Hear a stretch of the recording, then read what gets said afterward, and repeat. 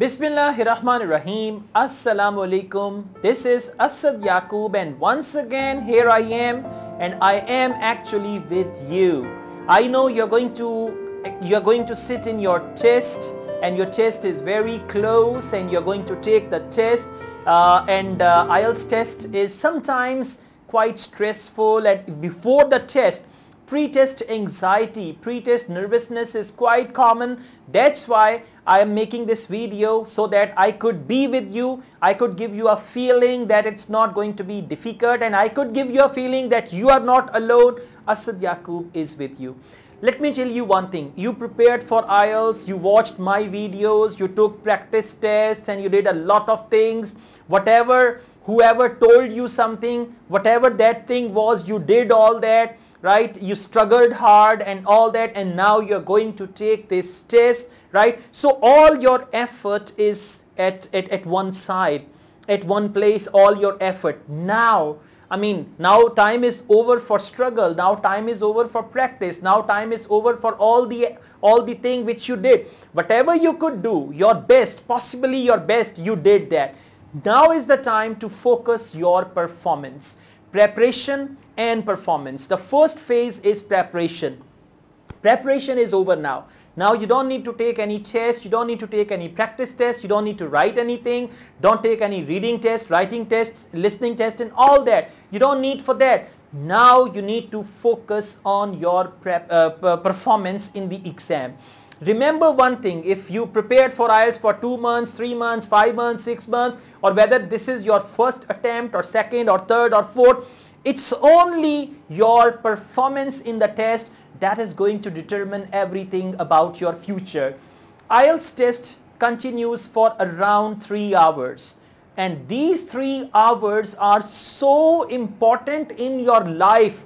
These are the most important 3 hours of your life because your future can be made within these 3 hours. Imagine you're getting your required band score then you can just, you know, the only way to get rid of IELTS is to get your required band score. There is no other way. If you are getting low bands, you will always be frustrated, you will be in tension and all that stuff. So the only way to get rid of IELTS is to get good bands and then leave it there. So these three hours are going to determine everything about you. I mean, when you're going to take the test, if you perform well, now forget about the old tests. Forget about the practice test you took and your result in that and all that. Forget about all that. Now your focus is only on that very test. Now you're going to go into the playground and remember you are not going alone. Your coach is with you. That's why I'm making this video that you are not alone. I am with you. My tips will go with you. My techniques will go with you. All the videos you watched, all my videos you watched, the knowledge I transferred, the knowledge I shared with you, that is going to go with you in the examination room and that will help you score better in IELTS. Now, it depends on you. You can give up now. You can say, oh, I'm frustrated, I'm confused. Accept your frustration. Accept your confusion. Give in. And then these three hours, who cares? I mean, you can just let it fly like this. But if you have to see that these three hours are going to be the life changer for you, if these three hours are going to be the game changer for you, for your next upcoming life, then you have to fight.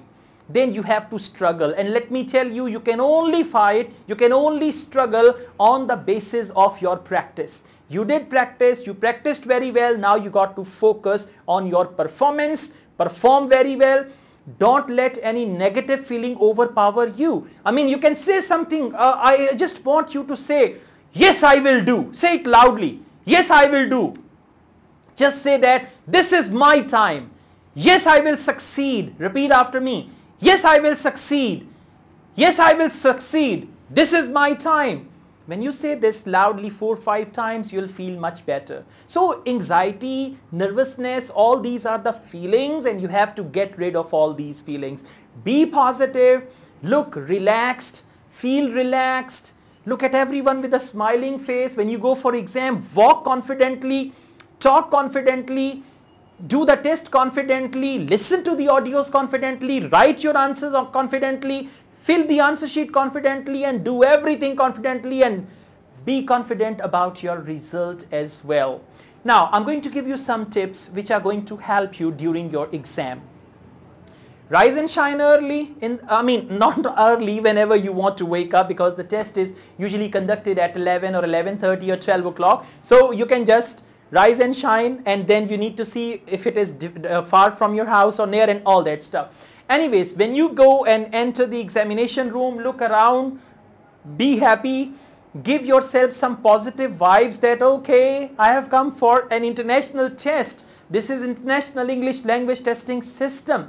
And this is a very well organized test and all that. Sit there look around look confident and try to get positive vibes from everywhere. Even the posters they have there right? Just feel the procedure of going abroad has started just start feeling it that this is one of the steps and after this step Next one, inshallah, I'll be going to the uh, uh, visa office. I'll get the visa. Then next I'll buy the ticket and then I'll sit in the aeroplane and from there I'll enjoy. Just think about that.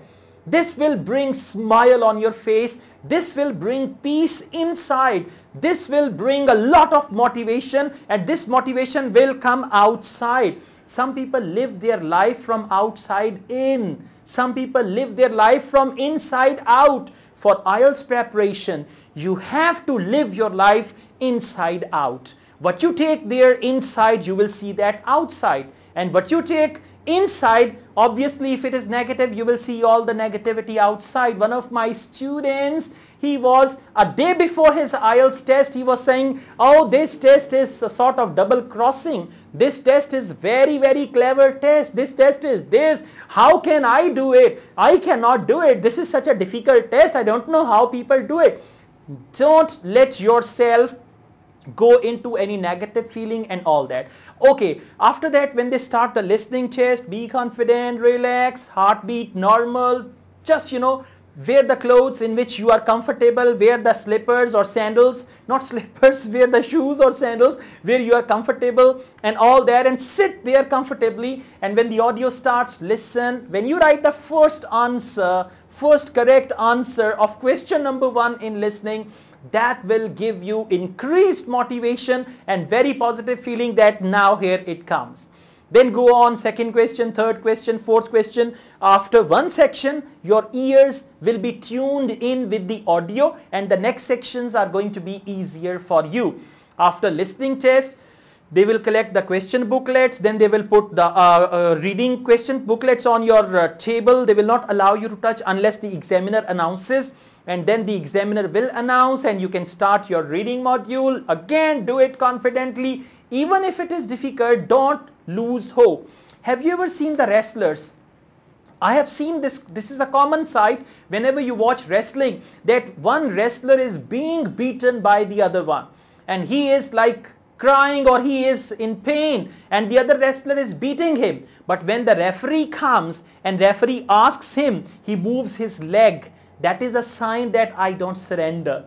That is the sign that I don't give in. So you should do that also whatever the situation is, even if you are beaten up, whatever the situation is, even if the test is difficult, don't surrender. Don't surrender even up to the last second of your test because finally you are going to win. You, you are born to win, you are born to succeed and this is one of the tests where you have to prove why were you born. So this is very, very important for you. Do not give in in IELTS test. Do not surrender. Just like the wrestler uh, who is beaten up but he's not willing to surrender. You should go on. This is only in case of difficult test. Otherwise everything is going to be fine for you. After the reading test, just take when they are collecting your answer sheets, listening and reading answer sheet, when they are collecting your reading booklet, just take few long breaths like and look around and get ready for writing. You can do something like that, a little stretching and all that because sitting at one place for three hours, that is also difficult. So when the writing comes, read the topic.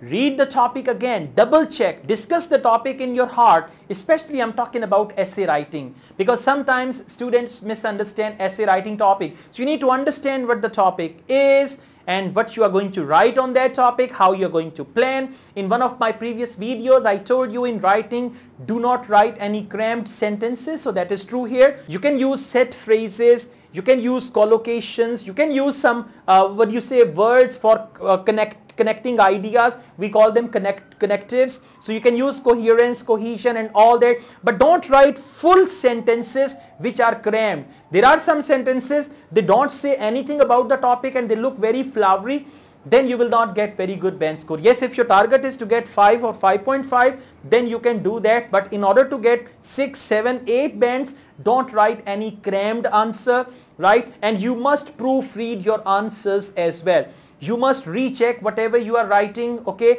Just see how many words have you written. Just see if there are any grammar errors. According to your understanding you can use pencil for that. So just like this you can just do your writing test as well and try to finish a couple of minutes before or rather five minutes before. The last five to ten minutes should be for proofreading. Watch my other videos about time management and all that. So this is how when you finish your test come out with a positive feeling a feeling of achievement that oh yes I have done with this test and now let's see what happens. Let me tell you one thing. If you give your 100% to something, if you give your 100% to something, then the result will be given by Almighty Allah. Your job is to give your 100% and if you don't give your 100% definitely you will not get your required results and all that stuff. So be positive be confident take this test and one day in future you will be sipping your favorite coffee flavor holding a big mug of coffee and sitting looking outside the window. There would be all snow there in Canada and you'll be looking outside the window and sipping your coffee and thinking once upon a time, I used to do IELTS. I used to practice IELTS and how my life is changed altogether. So if you keep in mind those times which are going to come ahead, inshallah. Inshallah means by the grace of Almighty God. Inshallah means if God willing. Alright. So that time is going to come. I mean when the currency of your wallet is going to be dollars not rupees and your local currency anymore it's going to be dollars when there'll be some cards there. You'll be wearing your favorite Nike shoes and wear your favorite Adidas uh, jackets and all that stuff. That time is going to come soon. This is the price you have to pay now. Now is the time to sow. Now is the time to cultivate. Now is the time to water. If you paid the price now, you would achieve everything you dream of today. Only the thing is you need to pay the price. If you like this video, hit on the like button and don't forget to subscribe my channel. When you go to take IELTS test, just think Asad Yaqub is going with you. Just think, just imagine that you have the tips. And let me tell you one thing. I am your coach. Now this is not your test. This is my test. Believe me, this is not your IELTS exam. This is my IELTS exam because you are my students and I am confident about you. So you have to be confident about yourselves as well.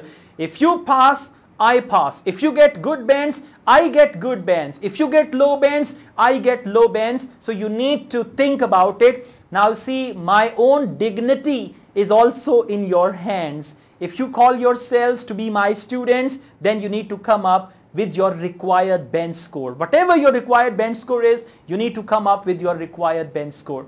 Asad Yaqub wishes you all the best with your exam. Don't fret, don't worry, don't panic, okay? Don't, don't get any negative feeling, be confident. I am with you and this test which you are going to take tomorrow is not going to be difficult and you are prepared, very well prepared for that. So everything is going to be like roses for you and you are going to succeed sooner or later. Take good care of yourselves. I also teach IELTS online. If you want to join my online IELTS classes, you can contact me for that. And if you have not subscribed my channel, I request you to subscribe this channel and I run another channel, Asad Yaqub Vlogs. Please subscribe to that channel as well. And remember, you are my alumni. Even if you've taken your required band score, you finished IELTS preparation, do not unsubscribe me actually, okay? You are my alumni and I am always going to be proud of you. Our connection is a lifetime connection. It's not a couple of months connection that you prepared IELTS, you watched my videos. No. Our connection is a lifetime connection and this connection is going to become stronger and stronger as the time passes. Take care. Good luck. Wish you all the best. Take care and cheers.